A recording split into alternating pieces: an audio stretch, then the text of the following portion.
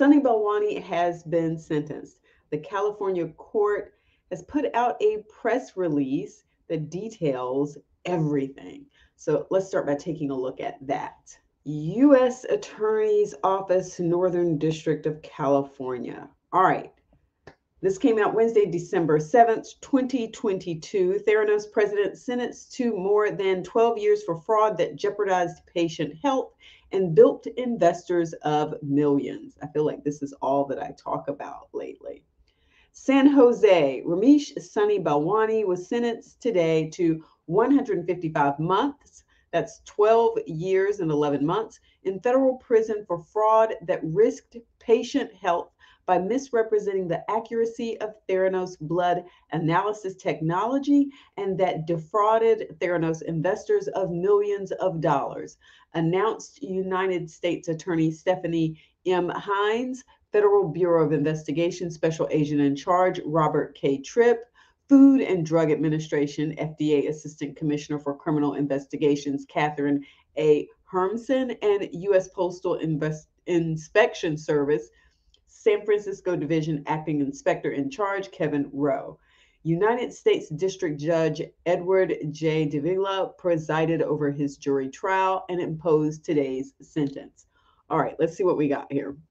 We're going to start with this quote Patient health is the highest priority of our healthcare system, and Silicon Valley has long been home to healthcare startups that enhance the care of patients through technological developments, said U.S. Attorney Stephanie M. Hinds.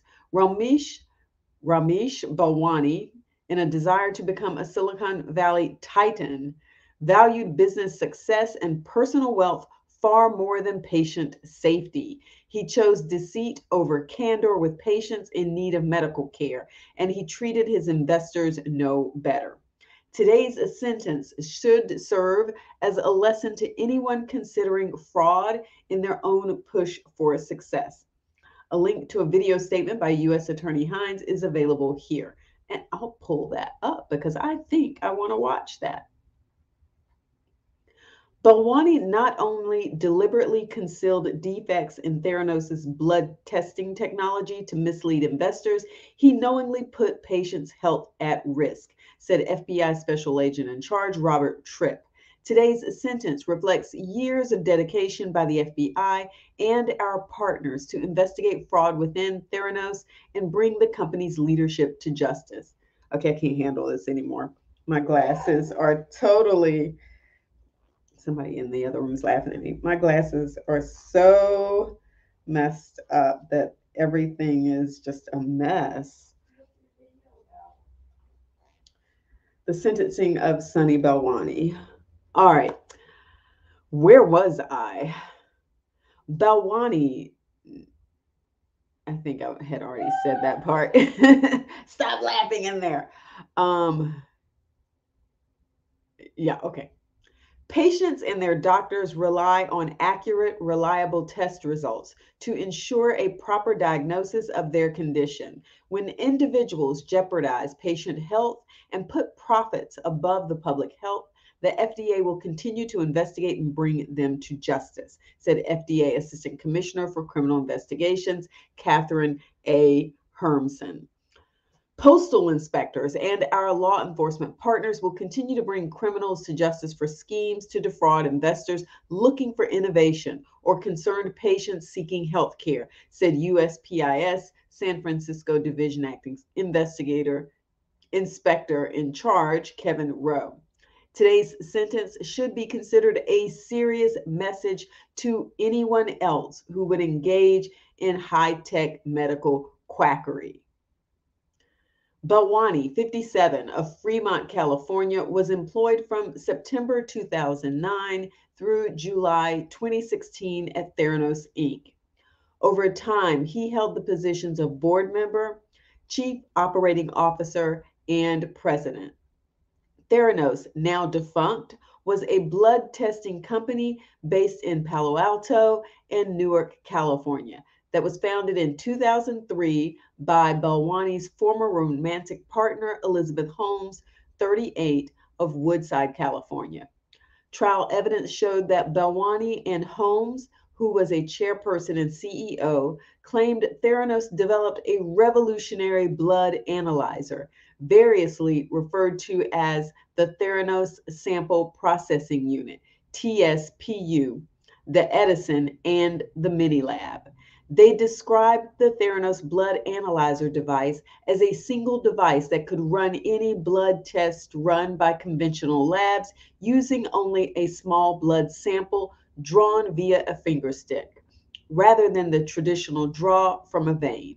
Belwani and Holmes asserted that the Theranos proprietary analyzer produced results that were cheaper, more reliable, and less variable than existing methods and obtained results at a speed faster than ever before possible. I checked out the YouTube channel for Theranos, and there actually is still a video up there. There's no sound, but let's take a look at one of the machines that they're talking about. So here you have the mini lab. They're going to give you the exploded view and pull out different pieces of it. So there you have all of them. And now they're going to individually pull out each one, for instance, the cartridge there. And you'll see them do that for all of these. Now, I don't know if originally when they posted this, they had a narrative over it. I don't think so. You know, YouTube is very um, interesting in that once you post it, it's there. So this is probably the way it was posted originally with no sound.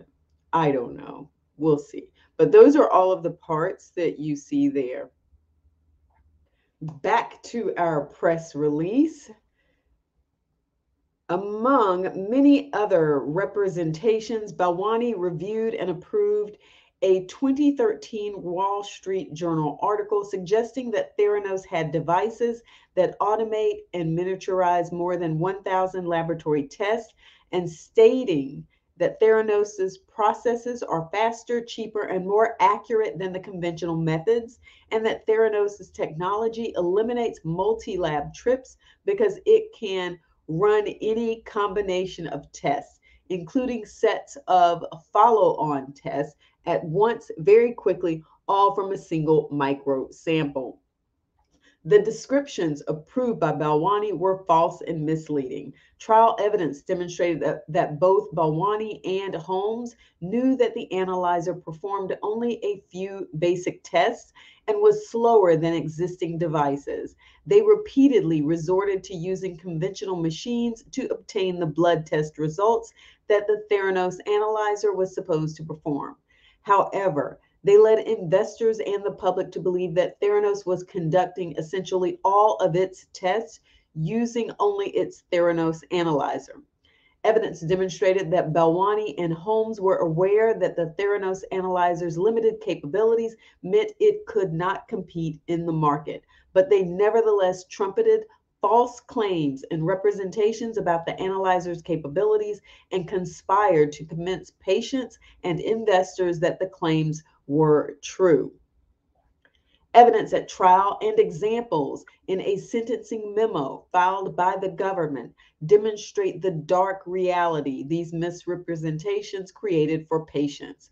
To portray Theranos as a legitimate enterprise, Theranos eventually offered the blood analyzer to the public to perform a full range of tests, despite internal protests from Theranos employees and even reg- resignations by staff. Numerous misdiagnoses followed.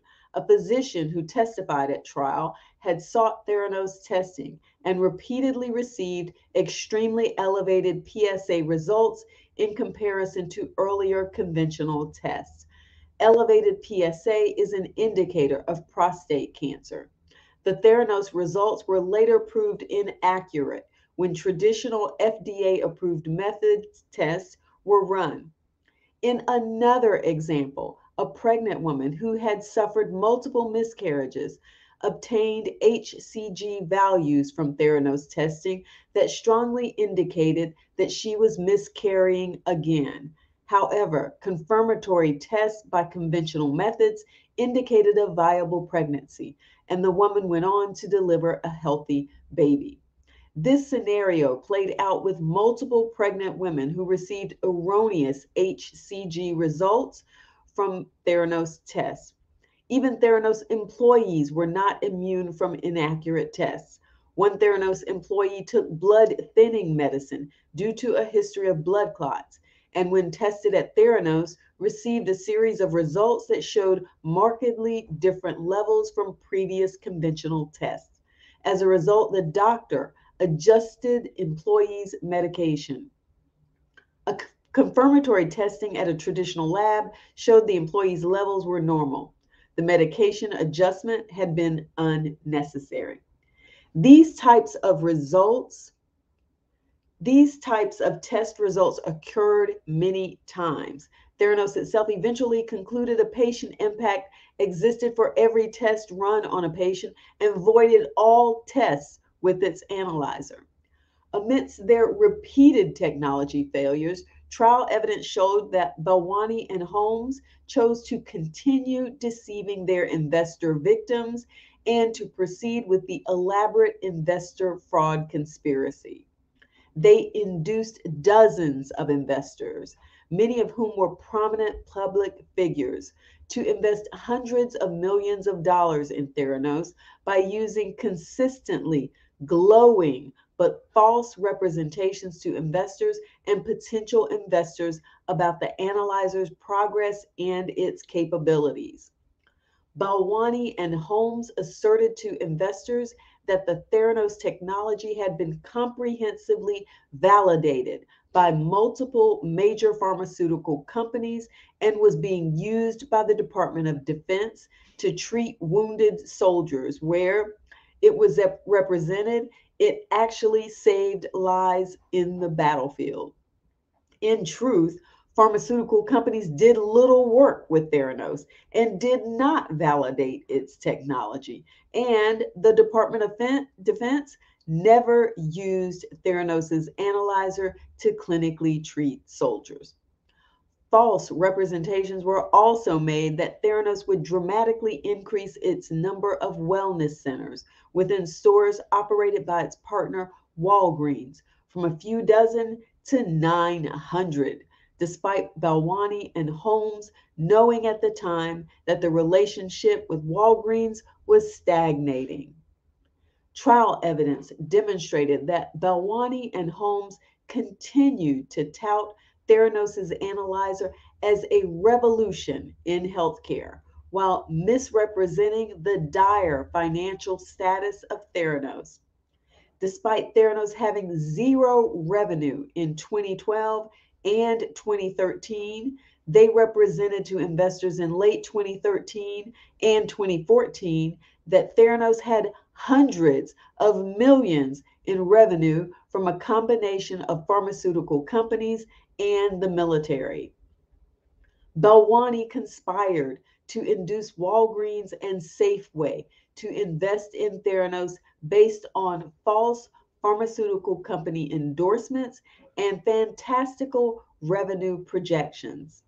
By March 2017, Theranos raised more than $730 million from Series C1 and Series C2 investors who invested subsequent to Theranos' public relations push in 2013. Trial evidence showed the fraud brought spectacular personal wealth to Balwani. Balwani owned nearly 30 million shares of Theranos, over 6% of the company, which were worth hundreds of millions of dollars at the peak of the fraud.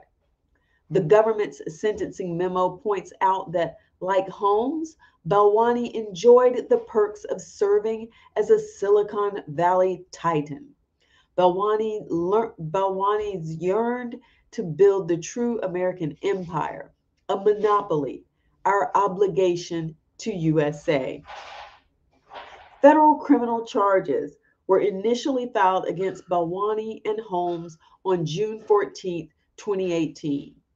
On July 28, 2020, a federal grand jury returned a superseding indictment charging both with two counts of conspiracy to commit wire fraud in violation of 18 USC section 1349. and 10 counts of wire fraud in violation of 18 USC section 1343. Of the two conspiracy counts, one alleged Balwani and Holmes conspired to defraud investors, and the second alleged Balwani and Holmes conspired to defraud patients who used Theranos services.